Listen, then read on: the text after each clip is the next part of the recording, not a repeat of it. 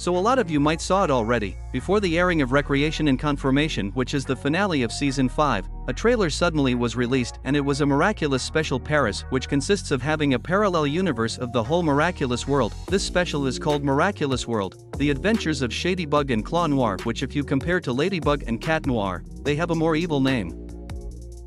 Here are some of the screenshots on the trailer and we see that Hawkmoth from the other world is saving Marinette. I actually thought that time traveling powers or the rabbit miraculous powers is the limit but they actually are going to multiverse or something. Only one trailer is released and probably they will release more soon.